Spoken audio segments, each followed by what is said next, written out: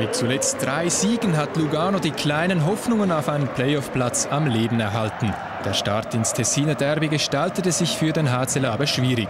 Strafe gegen Nodari Ambri im Powerplay.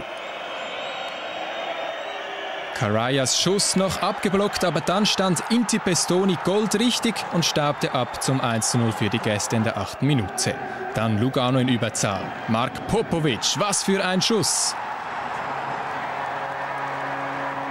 Popovic traf von der blauen Linie am Brie-Goalie Bäumle war die Sicht verdeckt. Wir wechseln wieder die Seite. Powerplay am Brie. Duca. Und dann steht wieder Pestoni bereit, das 2 zu 1. Oder doch nicht? Diese Bilder zeigen, dass der Pack im Tor war. Schiedsrichter Didier Massi hatte aber nur dieses Bild zur Verfügung und aus dieser Perspektive war kein Tor auszumachen.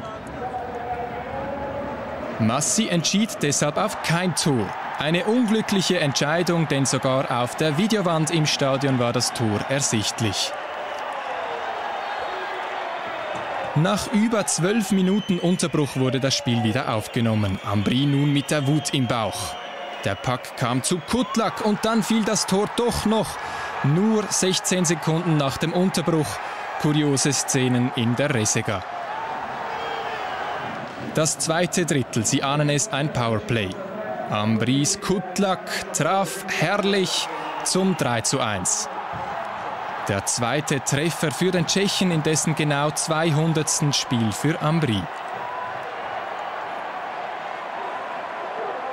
Das Schlussdrittel. Lugano bäumte sich nochmals auf. Jörg mit einem blinden Pass auf Sanitz. Der Anschlusstreffer für das Heimteam in der 45. Minute.